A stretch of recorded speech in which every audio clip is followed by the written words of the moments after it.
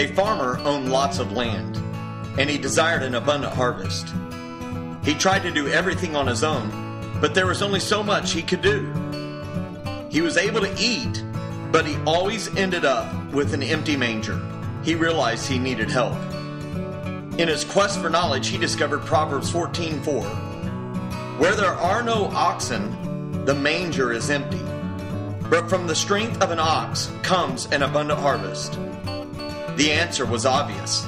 The farmer needed oxen. Oxen can carry a load he cannot carry. Oxen can do things he cannot do. Oxen can endure more than he can endure. He obtained oxen and began to experience an abundant harvest. The more oxen he got, the more exponential the harvest became. He even discovered that his oxen could give birth to more oxen. Now the farmer is experiencing an abundant harvest. He is able to give like he never dreamed. He is able to bless his family and others in ways he never thought possible.